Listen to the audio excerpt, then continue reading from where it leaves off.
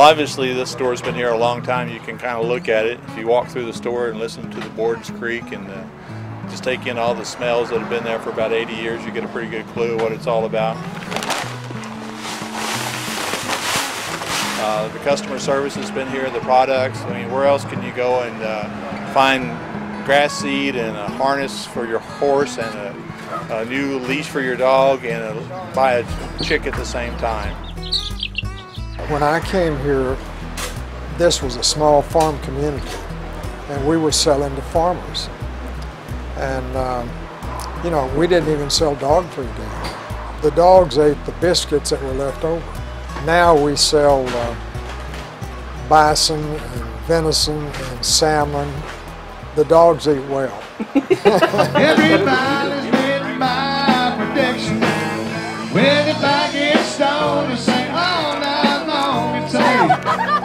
Family tradition. As members of the City Council recognize and congratulate Roach Feed and Seed Company on 80 years of service to the Garland community. Garland's 1930 census, the last before this store opened, showed 1,586 people in town. But of course, we had more than that when you counted the farms around the outside periphery. I think we're good. All right. Have a good day. We've we've tried to change with the times. When when the farms turned into homes, then we handle products for the homeowner. And uh, you know, through the years, we just hung in. We try to find out the customer's needs and then fill it. We we don't want it to be a one-time sale.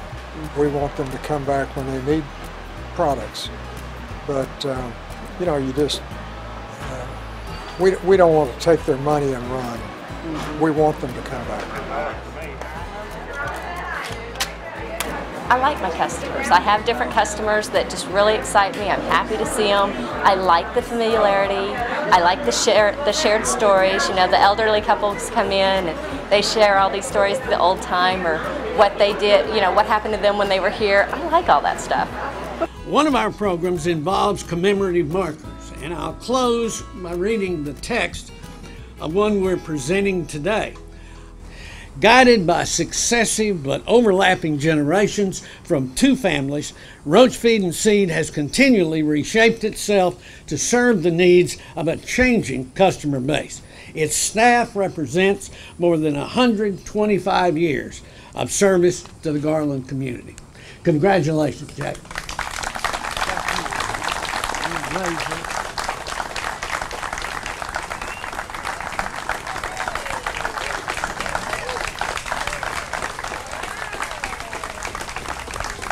Isn't that isn't that pretty? I see a lot of change. I hope I hope we're still here. You know, you never know, but I hope we are. Uh, I think there's a place for this kind of business. But I see a lot of redevelopment coming in around us, and we're seeing that right now.